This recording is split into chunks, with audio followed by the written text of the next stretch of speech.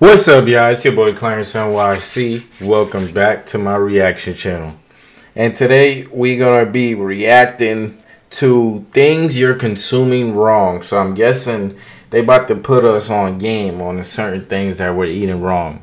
You know what I'm saying? I don't know how you could be eating an orange wrong, but they about to show us. You know what I'm saying? And we're gonna get right into this video. Before we get into this video though, make sure you smash that like button, make sure you leave a comment and make sure your bell notifications are turned on. That that helps both me and you helps my, my, overall channel and it helps you to always stay on top of my uploads you know what i'm saying and be the first ones to see them you know what i'm saying? I'm about to start doing giveaways for the first people that's here you know what i'm saying? And, and you know what i mean? And then we're gonna do it like that to get y'all more engaged you know what i mean? But let's get right into this video. I'm about to start it Many people struggle with food and other consumer goods because they're simply using them wrong. Just because everyone else always eats a food or uses a consumer good a certain way doesn't mean it's the best way to consume that product. Did you know there's a simple solution to dealing with bones and chicken wings? Getting the shell off a hard-boiled egg? And getting more for your money out of your ink and toner cartridges? Prepare to be amazed at this video of 10 things 10 things you're wrong. consuming wrong.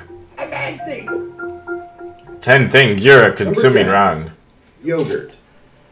If you like to eat yogurt, you may occasionally find a liquid that collects on the top and think it's gross. Oh, I don't really, I don't really eat yogurt like that, but I do know what they talking about. I pour that shit out. Yeah. So fast. what you're really doing is pouring essential nutrients down the drain. It's much healthier to consume the liquid because it contains nothing. calcium, protein, and B12. I'm not consuming Three of the nothing. healthiest nutrients found in yogurt. You don't have to drink the liquid. Just stir it back into your yogurt before eating. Or just shake the yogurt beforehand so you don't have to see it separated at the top.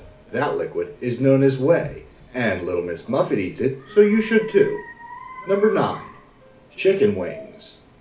It's easy How could you eat a chicken wing wrong? way to eat them since they're finger food, right? While it may be socially acceptable to eat chicken wings any way you want, dealing with the bones can be a hassle. So don't just wing it. That's just foul play, because there is an easy way to solve this problem. Here's how you can debone the wing with ease. Hold your chicken wing like a game controller and twist the ends back and forth until you feel the cartilage break. Then, pull the second bone out the end. This leaves one bone in the wing. You then put the chicken wing in your mouth and pull it off the other bone, leaving you with only chicken to chew. This is the best way because you get to eat all the meat at once without the risk of encountering a bone when you chew. Number no. 8.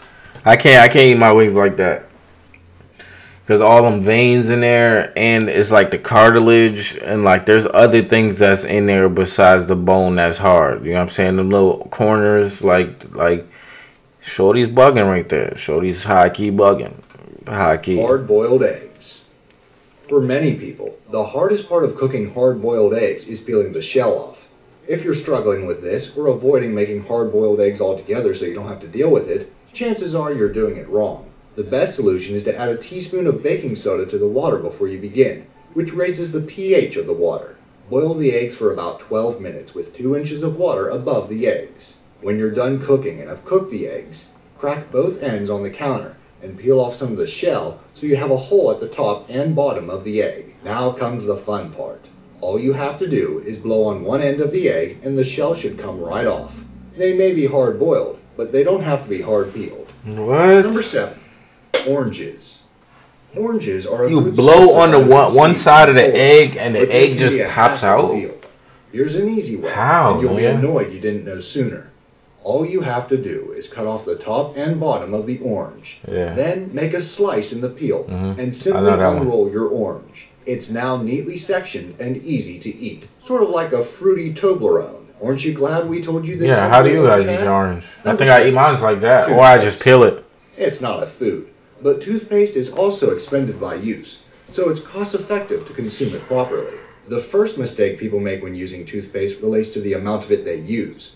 Many people run a long strip of toothpaste across the surface of bristles on their toothbrush. Yeah. But this is actually too much toothpaste. Where? A pea-sized amount is plenty.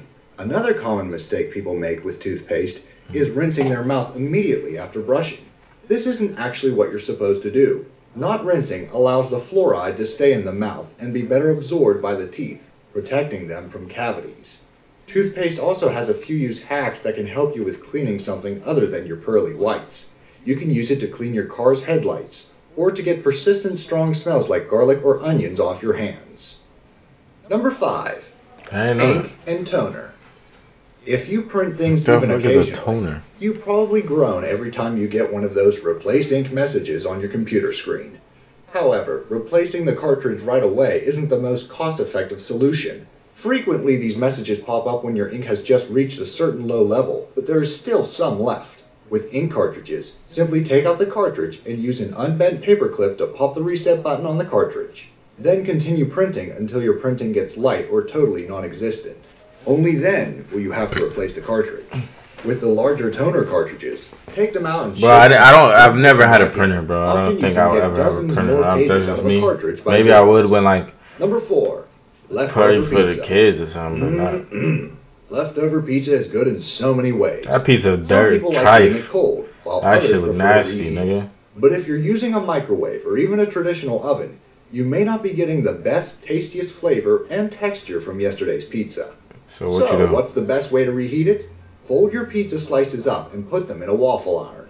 This keeps the crust crispy and even remelts the cheese. Plus, you get a cool little grid shape on your pizza. You can even fill the little squares with that extra sauce or Parmesan cheese you get from the pizza place. Number three, apples. An apple a Bro, day you is gonna put your pizza on a waffle so maker? the saying goes. I don't know about that, but a whole apple a day will leave more room in your trash or recycling bin. That's why you gotta eat it all. That's right, you can eat the whole apple, including the core.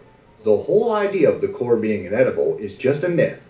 Sure, apple seeds do release cyanide when digested, but unless you finally chew and eat about 200 apple seeds or about 20 apple cores, you won't receive a fatal dose. Oh, and you shouldn't peel apples either, as the skin contains vitamins. The best way to consume your apple is to rinse it thoroughly. Start from the bottom and eat the whole thing, skin, stem, and all. Number two. Now they tripping. Now they tripping. You're going too far now. Apples either. As Shorty's going too far you now. Receive a fatal dose.